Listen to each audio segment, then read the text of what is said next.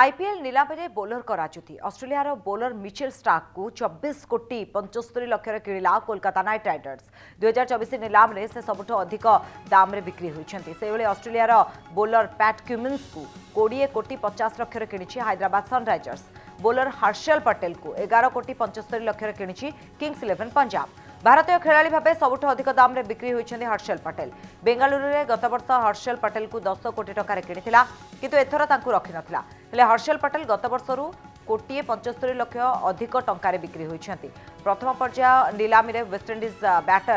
ରୋଭମ୍ୟାନ୍ ପାୱେଲଙ୍କୁ ରାଜସ୍ଥାନ ରୟାଲ୍ସ ସାତ ଦଶମିକ ଚାରି ଶୂନ କୋଟି ଟଙ୍କା ଅଷ୍ଟ୍ରେଲିଆର ଟ୍ରାଭିସ୍ ହେଡ୍କୁ ଛଅ ଦଶମିକ ଆଠ ଶୂନ କୋଟି ଟଙ୍କାରେ